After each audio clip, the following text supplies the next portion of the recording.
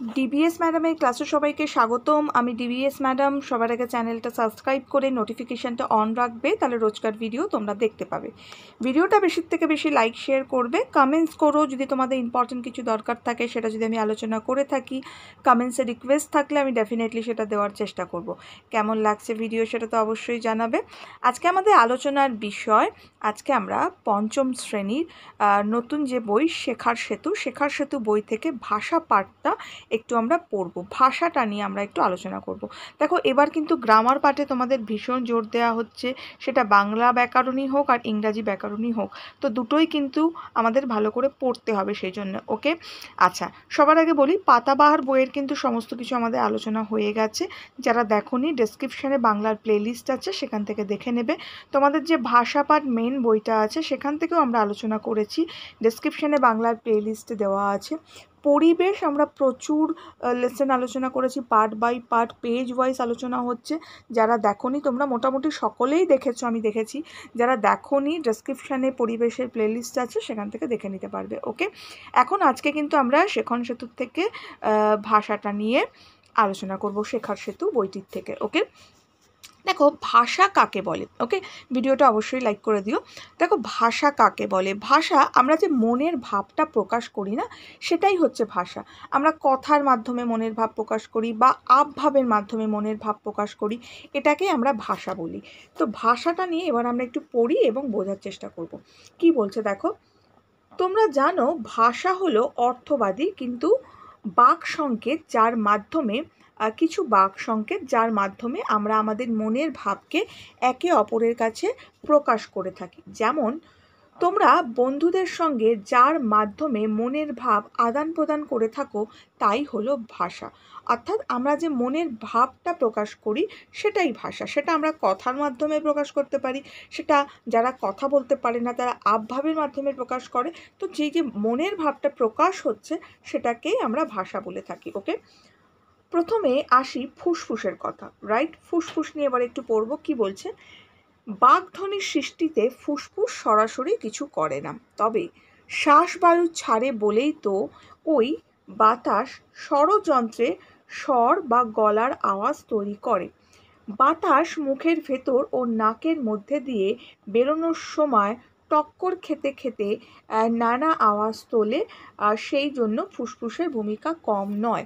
তার মানে বলছে, দেখো, আমরা জানি আমাদের কিন্তু শরীরের অনেকগুলো পার্টস আছে যেটা কিন্তু আমাদের কথা বলতে কিন্তু হেল্প করে রাইট যে নাহলে আমরা কথা বলতে পারব না। সেটা নাকো নাকগহ্বর হোক, সেটা নাসারন্ধ হোক, সেটা আমাদের আলজিভ হোক, সেটা ষড়যন্ত্র হোক, সেটা শ্বাসনালী হোক রাইট এবার শ্বাসনালী অর্থাৎ আমরা ফুসফুস ফুসফুস কি করছে দেখো ফুসফুসের সাহায্যে আমরা শ্বাস নিচ্ছি, আবার কি? না, শ্বাসটা ছাড়ছি। এই যে শ্বাস বায়ু ছাড়ি বলেই কিন্তু আমরা কি করতে পারছি? না, বাতাস, এই যে স্বরযন্ত্র অর্থাৎ স্বর বা গলার আওয়াজকে কি করছে? না, সৃষ্টি করে দিচ্ছে।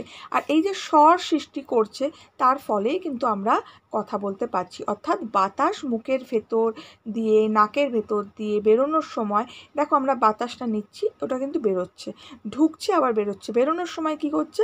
না, টক্কর খেতে খেতে আওয়াজ তোলে, ওকে? সেই জন্যেই কিন্তু ফুসফুসের ভূমিকা কম নয়। অর্থাৎ ফুসফুস একটা গুরুত্বপূর্ণ ভূমিকা পালন করে কথা বলার জন্য। নেক্সট দেখো আমাদের বলেছে ষড়যন্ত্র। ষড়যন্ত্র দেখো। ষড়যন্ত্র সম্বন্ধে আমরা কি বলব? দেখো, এখানে কিন্তু অনেকগুলো পাঠ আঁকা আছে। এই আঁকাটা আমরা শ্রেণীতেও পেয়েছি। পশ্চাৎ তালু, দেখো জিহ্বা পশ্চাৎ, ওকে, ষড়যন্ত্র, শ্বাসনালী রাইট প্রতিটা পার্ট কিন্তু, এই প্রতিটা পার্ট কিন্তু আমাদের কথা বলার জন্য ইম্পর্টেন্ট মাইন্ডেড প্রতিটা পার্ট আমরা কথা বলতে গেলে আমাদের প্রতিটা অংশই কাজ করে। এবার দেখো ষড়যন্ত্র পড়ব। আমাদের কথা বলার সময় ফুসফুস থেকে বেরিয়ে আসা শ্বাসবায়ু, শ্বাসনালী দিয়ে প্রথমে ষড়যন্ত্রে, শ্বাস আচ্ছা তাহলে আমাদের ফুসফুস থেকে কি করে না বেরিয়ে আসা শ্বাসবায়ু অর্থাৎ বাতাস রাইট শ্বাসনালী দিয়ে প্রথমে কোথায় যাচ্ছে? প্রথমে ষড়যন্ত্রে আসে। শ্বাসনালী হলো শ্বাসবায়ু যাওয়া আসা, নালী পথ, ওকে? তাহলে শ্বাসবায়ুটা শ্বাসনালীটা কি? না আমাদের যে বাতাস, আমরা যে অক্সিজেন নিচ্ছি, সেটা যাতায়াত করার নালী পথ, অর্থাৎ একটা রাস্তা যাকে বলতে পারি, ওকে? নালী যাকে বলতে পারি। ষড়যন্ত্র দেখতে অনেকটা গোল রিংয়ের মতো, তার মানে বলছে ষড়যন্ত্রটা কেমন দেখতে? না গোল রিংয়ের মতো, ওর মধ্যে সমান্তরাল দুটি পাতলা ঝিল্লি আছে। শ্বাসবায়ু বেরোনোর সময় এই দুটি ঝিল্লি প্রয়োজন মতো খুলে যায়, আবার বন্ধ হয়। এই একই নাম স্বরতন্ত্রী বা স্বরপল্লব রাইট এই দুই নাড়া খেলে উৎপন্ন হয় কণ্ঠস্বর বা কণ্ঠাধ্বনি রাইট তার মানে কি বলছে? যে ষড়যন্ত্র দেখতে অনেকটা গোল রিংয়ের মতো, ওর মধ্যে সমান্তরাল দুটো পাতলা কি আছে? না, পাতলা একদম মিহি যাকে বলতে পারে, একদম পাতলা ঝিল্লি আছে রাইট শ্বাসবায়ু বেরোনোর সময় ওই দুটো ঝিল্লির কিন্তু প্রয়োজন মতো খুলে যায়, ওকে? আবার কিন্তু বন্ধ হয়ে যায়। এর নাম আমরা কি বলি? যেকে আমরা ভোকাল কট বলে থাকি রাইট আমাদের যে ভোকাল কট থাকে, সেটাকেই কিন্তু ঝিল্লি বলা হচ্ছে, ওকে? তাহলে যাই হোক শ্বাসবায়ু বেরোনোর সময় দুটি ঝিল্লি প্রয়োজন মতো খুলে যায়, আবার বন্ধ হয়ে যায়। এর নাম হচ্ছে স্বরতন্ত্রী বা স্বরপল্লব রাইট তার মানে শ্বাসবায়ু বেরোনোর সময় কি করছে? না, আমাদের বাতাসটা, এটা কিন্তু খুলে যাচ্ছে। ওকে প্রয়োজন মতো কিন্তু, দুটো ঝিল্লি প্রয়োজন মতো খুলে যায়, আবার কিন্তু ওটা বন্ধ হয়ে যায় রাইট আপস অ্যান্ড ডাউন করতে থাকে ওকে এই দুই নাড়া খেলে উৎপন্ন হয় কণ্ঠস্বর বা কণ্ঠাধ্বনি। এই দুটো যখন নাড়া খায়, অর্থাৎ ভোকাল কর্ডস তখন কিন্তু কণ্ঠাস্বর বা কণ্ঠধ্বনি উৎপন্ন হচ্ছে আমাদের রাইট নেক্সট নেক্সট আমাদের কি বলছে? দেখো, তালু বলছে। তালু আমাদের কি বলছে? দেখো বাকযন্ত্রের দ্বিতীয় অংশ হলো তালু। আচ্ছা কি বলছে? তালুর দুটি ভাগ কি ভাগ? না সামনের কঠিন তালু বা অগ্রতালু নেক্সট পিছনের কোমল তালু বা পশ্চাৎ তালু। দেখো, এখানে একটা কথা মাথায় রাখতে হবে। তালুও কিন্তু একটা গুরুত্বপূর্ণ ভূমিকা পালন করে আমাদের কথা বলার জন্য ওকে তাহলে সামনের কঠিন তালু বা অগ্রতালু পিছনের কোমল তালু বা পশ্চাৎতালু তালু। পশ্চাৎ তালু মূর্ধা নামে পরিচিত। পশ্চাৎতালু তাহলে কী নামে পরিচিত? ছোট্ট প্রশ্ন এগুলো। পশ্চাৎতালু কিন্তু মূর্ধা নামে পরিচিত রাইট ধ্বনি উচ্চারণের পিছনে তালু প্রয়োজন মতো উপরে উঠে, ওঠে এবং নিচে নামে। তার মানে ধরি উচ্চারণের পিছনে কি হচ্ছে? তালুর প্রয়োজন মতো উপরে উঠছে, নিচে নামছে। তাছাড়া জিহ্বা তালুর পিছনে বা সামনে থেকে ঠেকে নানা ধ্বনি উচ্চারণ করে। তার মানে ব্যাপারটা বোঝো। বলছি যে ধ্বনি উচ্চারণের পিছনে তালু প্রয়োজন মতো উপর দিকে উঠে যাচ্ছে, আবার কিন্তু নিচের দিকে নামছে। তাছাড়া জিহ্বা তালুর পিছনে, তালুটার পিছনে, আমাদের যে ওপরে তালু আছে জীবের ওপরে, সেই তালুর পিছনে বা সামনে ঠেকছে রাইট দেখো জিভটা কি হচ্ছে? সামনের দিকে যে দাঁতের নিচে দেখো, যে তালু আছে, সেখানে কিন্তু জিভটা ঠেকছে। তবেই গিয়ে কিন্তু আমরা কথা উচ্চারণ করতে পারছি ওকে একদম কথা বলার চেষ্টা করলে দেখবে আমাদের জিভটা সবার আগে গিয়ে এই যে সামনে আমাদের দাঁতের নিচ দিয়ে যে তালুটা রয়েছে, সেখানে ঠেকে। আবার অনেক সময় জিভটা ওপরের দিকে আমাদের যে তালুটা রয়েছে সেটা কিন্তু ঠেকে। তবেই কিন্তু আমরা কথা বলতে পারছি, ওকে? নেক্সট এবার আমরা পড়ব জিহ্বা। জিহ্বা কি বলছে দেখো? বাকযন্ত্রের উল্লেখযোগ্য গুরুত্বপূর্ণ অংশ হলো জিহ্বা। জিহ্বার চারটি ভাগ, একটা জিহ্বাগ্র, একটা হচ্ছে জিহ্বা ফলক, একটা হচ্ছে জিহ্বা সম্মুখ, একটা হচ্ছে জিহ্বা পশ্চাৎ রাইট স্বর ও ব্যঞ্জন উভয় ধ্বনির উচ্চারণে জিহ্বার কাজ অনেক। পরে আমরা জিহ্বার কাজ বিশদ আলোচনা করব রাইট দেখো, জিহ্বা কিন্তু খুব গুরুত্বপূর্ণ একটা ভূমিকা পালন করে থাকে। ধরো, তুমি বলতে চাইছো যে এ এ উচ্চারণ করবে। তো যখন এ তুমি উচ্চারণ করতে চাইছো, তুমি দেখো, তোমার জিভ কিন্তু এগিয়ে থাকে, আবার সামনেরটা একটু ওপর দিকে উঠে যাচ্ছে, ঠিক আছে? তুমি ও উচ্চারণ করছ। ও উচ্চারণ করতে গেলে কি হচ্ছে? দেখো জিভ কিন্তু ও বলছি। দেখো জিভটা কিন্তু কি হচ্ছে? জিভ গুটিয়ে থাকে এবং কি হচ্ছে না সামনেটা একটু উঠে থাকে রাইট তো এইরমভাবে কিন্তু আমরা কথাগুলো বলে থাকি, কথা বলার কিছু নিয়ম থাকে কিন্তু ওকে নেক্সট দেখো। নেক্সট বলেছে দন্ত। দন্ত বলছে বাকযন্ত্রের আর এক অংশ হলো দাঁত বা দন্ত, ঠিক আছে? ধ্বনি উচ্চারণে, দেখো, দাঁত যদি না থাকে, আমরা কিন্তু কথাই বলতে পারব না। খুব ইম্পর্ট্যান্ট ভূমিকা পালন করে দাঁত।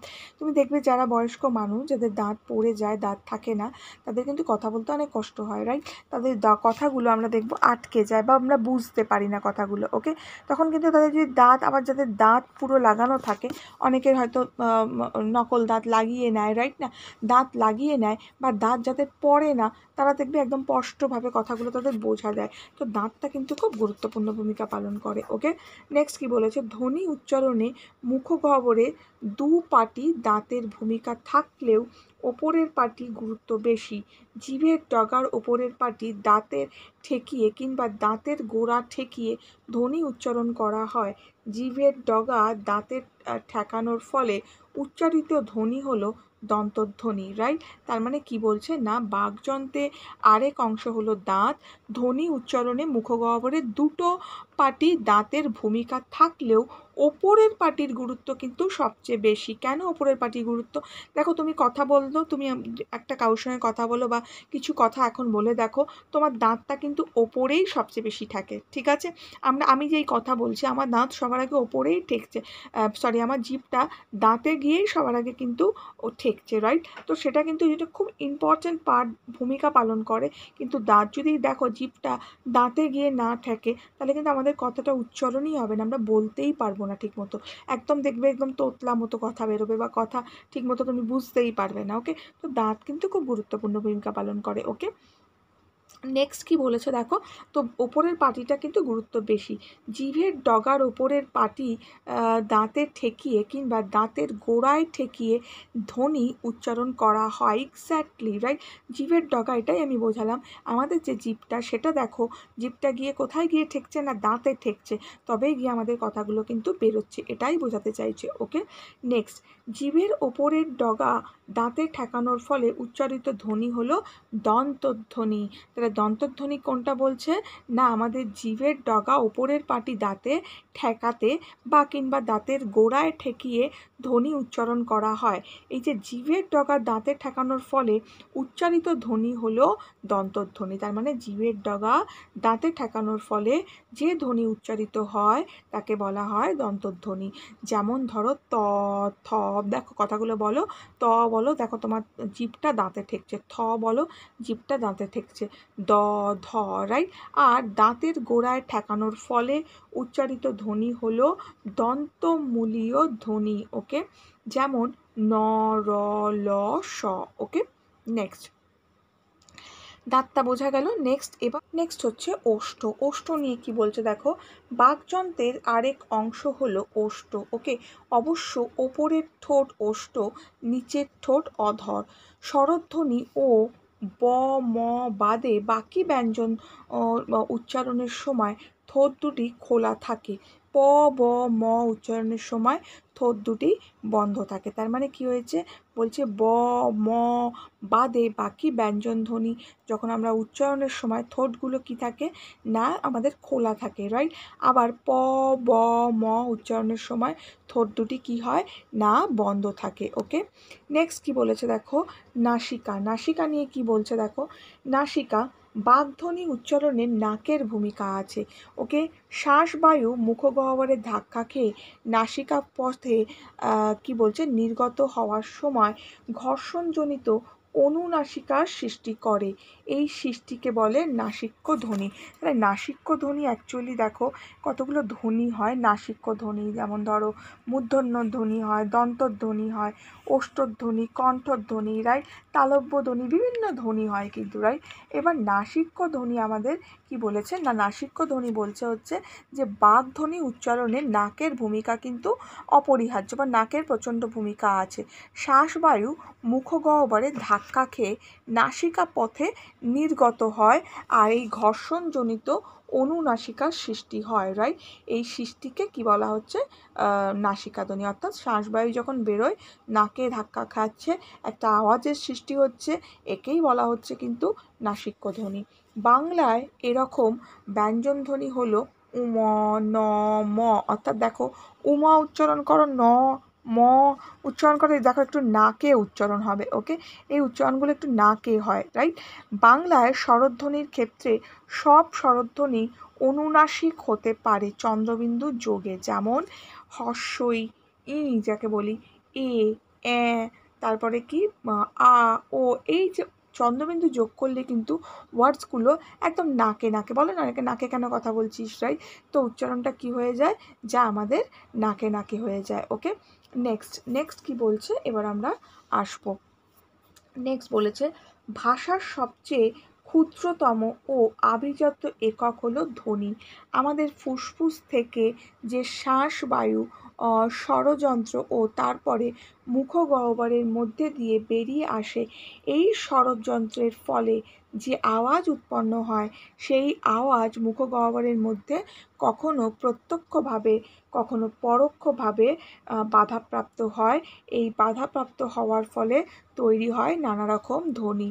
তার মানে আমাদের কি বলছে দেখো, আমাদের বলছে যে ভাষার সবচেয়ে ক্ষুদ্রতম ও আভিজাত্য একক হলো মানে ধ্বনি। ধ্বনি একটা খুবই ইম্পর্টেন্ট রাইট ধ্বনি ছাড়া কোনো মতেই কোনো কিছুই সম্ভব না। আমাদের ধ্বনি উচ্চারণ হয় তবেই কিন্তু সব কিছু হচ্ছে রাইট কথা বলতে পারছি আমরা রাইট তো সেই জন্য বলছে যে ধ্বনির একটা আভিজাত্য আছে ওকে আমাদের ফুসফুস থেকে শ্বাসবায়ু, ষড়যন্ত্র ও তারপরে মুখগহ্বরের মধ্যে দিয়ে বেরিয়ে আসে। তাহলে শ্বাসবায়ু কী করছে?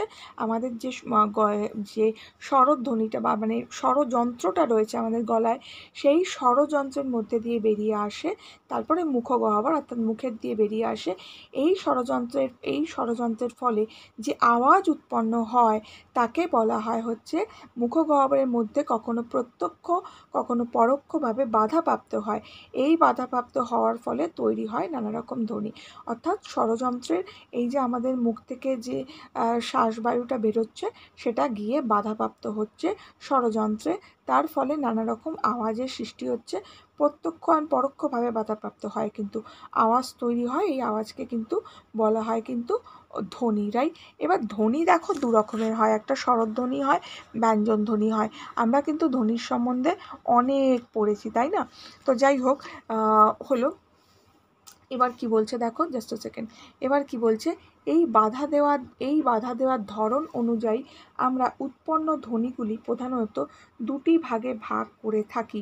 এক হচ্ছে স্বরধ্বনি দ্বিতীয় হচ্ছে ব্যঞ্জনধ্বনি অর্থাৎ ধ্বনিটা আমাদের দুটো ভাগে ভাগ হচ্ছে, এক হচ্ছে স্বরধ্বনি দ্বিতীয় হচ্ছে ব্যঞ্জনধ্বনি দেখো স্বরধ্বনি কাকে বলে ব্যঞ্জনধ্বনি কাকে বলে, এগুলো আমরা খুব ভালো করে, এগুলো নতুন করে কিচ্ছু বলার নেই, এগুলো খুব ভালো করে আমরা পড়েছি। যেমন কোনটায় কি উচ্চারণ করতে লাগে সেটাও আমরা পড়েছি রাইট যেমন ধরো, কোনটা ঘোষ বর্ণ, কোনটা অঘোষ বর্ণ, সেগুলো আমরা পড়েছি সব কিছু তো এগুলো সবই আমরা কিন্তু একটু একটু করে শেখার দিকে কনসেন্ট্রেট করব রাইট নেক্সট দেখো স্বরধ্বনি স্বরধ্বনি কি বলছে? যে ধ্বনিগুলি উচ্চারণের ক্ষেত্রে আমাদের জিহ্বা মুখের কোথাও স্পর্শ করে না বা উচ্চারণের সময় যে ধ্বনিগুলি মুখগহ্বরের কোথাও সম্পূর্ণভাবে বাধাপ্রাপ্ত হয় না, শুধু মুখগহ্বরে আয়তন হ্রাস বৃদ্ধি ঘটে, সেগুলোকে বলা হয় হচ্ছে স্বরধ্বনি যেমন ধরো, অ, আ হর্ষই দীর্ঘ। হর্ষই হস্যু এ ও, তার মানে যে ধ্বনিগুলো, স্বরধ্বনিগুলি মানে উচ্চারণের ক্ষেত্রে আমাদের জিহ্বা বা মুখগহ্বরে কোথাও স্পর্শ করছে না। মানে আমাদের জিহ্বা অ, দেখো অ বলছে জীব কিন্তু কোনো, জীবের কিন্তু কোনো কাজ নেই। অটা বলে দেখো দেখো জীব তেমন কাজ করছে না। আ বলে দেখো হর্ষই বলো, তাই বলেছে জীব কিন্তু মুখগহ্বরে মুখের কোথাও স্পর্শ করে না বা উচ্চারণের সময় যে ধ্বনিগুলো মুখগহ্বরে কোথাও সম্পূর্ণভাবে বাধাপ্রাপ্ত হয় না, শুধু মুখগহ্বরের আয়তনের হ্রাস বৃদ্ধি ঘটে। অর্থাৎ আমরা অ বলছি মুখটা বেরিয়ে আসছে আ বলছি মুখটা কি হচ্ছে চওড়া হয়ে যাচ্ছে এটাই। হর্ষই বলছি মুখে মুখগহ্বরে হ্রাস হচ্ছে বৃদ্ধি হচ্ছে রাইট সেটুকুই। এটাকেই বলা হয় হচ্ছে স্বরধ্বনি রাইট দেখো স্বরধ্বনি কিন্তু অনেক পাঠ হয় ওকে স্বরধ্বনি যেমন ধরো আহ, স্বরধ্বনি একটা হচ্ছে বিবৃত স্বরধ্বনি রাইট বিবৃত স্বরধ্বনি কোনগুলো? দেখো আ অ এ এদেরকে বলা হয় হচ্ছে বিবৃত স্বরধ্বনি রাইট এই স্বরধ্বনিগুলি উচ্চারণের সময় কিন্তু মুখের ভেতরে বেশ খানিকটা জায়গা তৈরি করে রাইট আবার সংবৃত্ত স্বরধ্বনিতেও ভাগ করা হয় রাইট যেমন ধরো হর্ষই, এ, উ, ও এদেরকে সংবৃত স্বরধ্বনি বলা হয়। এই স্বরধ্বনিগুলো উচ্চারণের সময় মুখের ভেতরে জায়গা কমে যায়, কিন্তু কমে যায় জায়গাটা রাইট তো এইভাবেও কিন্তু ভাগ করা হয়ে থাকে ওকে যাই হোক, যেমন আমরা পড়েছি না যে কুঞ্চিত স্বরধ্বনি প্রসারিত স্বরধ্বনি কুঞ্চিত কোনগুলো? হস্যু ও, অ, এগুলো হচ্ছে কুঞ্চিত। আবার প্রসারিত কোনগুলো? হর্ষই দেখো মুখটা প্রসারিত হয়। এ এ, এইগুলো। এইভাবে কিন্তু অনেক ভাগ হয়, ওকে? নেক্সট আমি একটু জাস্ট তোমাদের জানিয়ে রাখলাম এটা। নেক্সট কি বলেছে? ব্যঞ্জন ধ্বনি।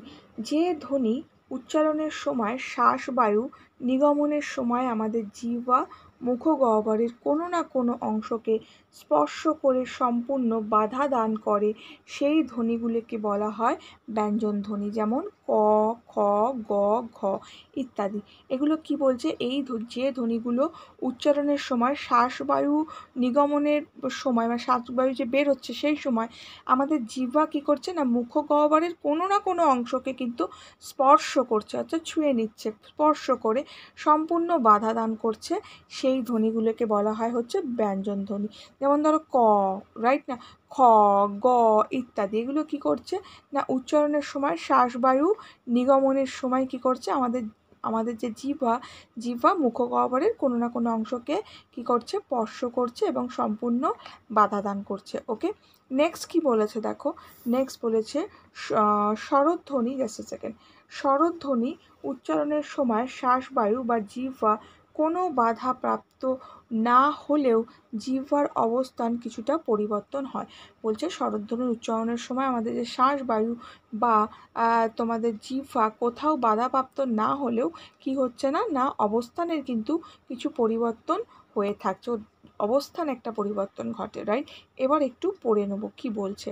বলছে, দেখো হর্ষই এবং দীর্ঘই ধ্বনি উচ্চারণে জিহ্বা এগিয়ে থাকে এবং উপরের তালুর আগের অংশ কাছে পৌঁছে এ ধ্বনি উচ্চারণে জিহ্বার অবস্থান হর্ষই ধ্বনির মতো সামনে হয়। এগুলো মুখস্থ করতে হবে পুরো রাইট হর্ষই ধ্বনির মতো সামনেই হয়, কিন্তু একটু নিচে হয় এবং এ ধ্বনির সময় আরও নিচে নেমে যায়। হর্ষই দীর্ঘই এ ধ্বনি উচ্চারণের সময় জিহ্বা সম্মুখ ভাগের দাঁতের দিকে এগিয়ে বল, এগিয়ে এলে এগুলি বলা হয় হচ্ছে সম্মুখ ধ্বনি এবং হর্ষই এবং দীর্ঘই উচ্চারণের সময় জিহ্বা আবার হস্যু এবং দীর্ঘ উচ্চারণের সময় জিহ্বা পিছনে যাচ্ছে রাইট তো পিছনে আসে এবং পশ্চাৎ তালুর কোমল অংশকে কাছাকাছি পৌঁছে যায়। ও ধ্বনি উচ্চারণে জিহ্বার আরও একটু এগিয়ে আসে আর অধ্বনির সময় আগের নিচে আসে। অর্থাৎ দেখো এটা বলেছে কোন সময় কি থাকে রাইট না? বলছে যে হর্ষই দীর্ঘ উচ্চারণের সময় জিহ্বা কী হচ্ছে? জিহ্বা হর্ষই দীর্ঘই যখন উচ্চারণটা আমরা করছি তখন আবার হস্যু দীর্ঘ যখন ধ্বনি উৎপন্ন হচ্ছে জিহ্বা পিছনে আসছে রাইট আবার পশ্চাৎ তালু কোমল তালুর অংশে কাছাকাছি পৌঁছচ্ছে। দেখো মোট কথা এটাই বোঝানোর চেষ্টা করছে যখন ধরো আমরা উকে উচ্চারণ করছি, তখন কি হচ্ছে? জীব সামান্য গুটিয়ে থাকছে এবং সামনে উঠে আছে, থাকে রাইট আবার দেখো যখন অ উচ্চারণ করছি, জীব কি হচ্ছে না জীবটা একটু গুটিয়ে থাকে, আবার সামনে সামান্য নিচের দিকে থাকে। তো অবস্থানটা, জীবের অবস্থানটা কিন্তু এখানে আমাদের বোঝানোর চেষ্টা করছে যে কোন পরিস্থিতিতে কি অবস্থান করে। যেমন ধরো হর্ষয়ে জীব কিন্তু সামান্য এগিয়ে থাকে এবং সামান্য উঠে থাকে রাইট তো এইটা এইভাবে আমাদের পড়তে হচ্ছে ওকে নেক্সট কি বলেছে? হস্যু দীর্ঘ, ও, অ ধ্বনির সময় জীব পিছনে আসে বলে এগুলোকে পশ্চাৎ পশ্চাৎ স্বরধ্বনিও বলা হয়। তাহলে পশ্চাৎ স্বরধ্বনি কোনগুলো? না হস্যু দীর্ঘ, ও, অ ধ্বনি সময় জিহ্বা পিছনে আসে বলে এগুলোকে পশ্চাৎ স্বরধ্বনি বলা হয় রাইট নেক্সট কি বলছে? দেখো নেক্সট বলেছে হস্যও দীর্ঘ উচ্চারণের সময় জীব উচ্চ থাকে বলে এদেরকে উচ্চ পশ্চাৎধ্বনি ও অকে নিম্ন অবস্থিত পশ্চাৎধ্বনি বলা হয়ে থাকে এবং ব্যাং বাংলায় অ সরি আ উচ্চারণের সময় জিহ্বা সাধারণত সাহিত্য অবস্থায় থাকে এবং কণ্ঠের দিকে আকৃষ্ট হয়। তার মানে আমরা জানছি যখন অ উচ্চারণের সময় জিহ্বা সাধারণত একদম অ, আর সরি আ আ উচ্চারণ করছে, একদম জিভ দেখো মুখটা আমাদের খুলে যাচ্ছে, একদম প্লেন থাকছে জিভ রাইট সেটাই বলছে আ। তো শোয়া অবস্থায় থাকছে ওকে এবং কণ্ঠের দিকে আকৃষ্ট হচ্ছে। কণ্ঠ যেটা হচ্ছে গলা, সেদিকে একটু টান হচ্ছে, আকৃষ্ট হচ্ছে। মুখের সম্মুখ ও পশ্চাৎ অংশের মাঝামাঝি বা কেন্দ্রীয় স্থানীয় অংশে অবস্থিত থাকে বলে অকে কেন্দ্র নিম্নবর্তীয় স্বরধ্বনি বা বিবৃত স্বরধ্বনি বলা হয়, যেটাই আমি বললাম তোমাদের। যে বিবৃত স্বরধ্বনি মোট কথা কাকে বলছি? শুনে নাও ভালো করে। যে আ অ, এ এদেরকে বিবৃত স্বরধ্বনি বলা হয়। আ, অ, এ এ মানে হচ্ছে অয়জফলা আকার। একে বিবৃত স্বরধ্বনি বলা হয়। এই স্বরধ্বনিগুলোর সময় কি হচ্ছে? উচ্চারণের সময় মুখের ভেতরের বেশ খানিকটা জায়গা তৈরি করে নিচ্ছে, ঠিক আছে? এই জন্য একে বিবৃত স্বরধ্বনি বলা হচ্ছে, ওকে? নেক্সট দেখো। নেক্সট আমাদের কি দিয়েছে? সম্মুখ ওষ্ঠ এবং অপসৃত। দেখো, এটা ভীষণ ইম্পর্টেন্ট ভালো করে পড়তে হবে ওকে কি বলছে? দেখো, উচ্চ উচ্চ হর্ষই দীর্ঘই ওকে তারপরে কেন্দ্রীয় ওষ্ঠধর বিবৃত তার পশ্চাৎ ওষ্ঠধর গোলাকার রাইট দেখো, পশ্চাতে পড়ছে কি কি হস্যু দীর্ঘ রাইট উচ্চ নিম্নতে পড়ছে কি, আ, অ আচ্ছা নিম্ন মধ্যতে, নিম্নতে পড়ছে হচ্ছে আ, এটা কিন্তু খুব ইম্পর্ট্যান্ট ভালো করে এই চারটাকে কিন্তু তোমাদের পড়তে হবে ওকে আমরা এবার দেখো, আমরা আজকে এতদূর পর্যন্তই পড়লাম, ঠিক আছে? এতটা পর্যন্তই পড়লাম।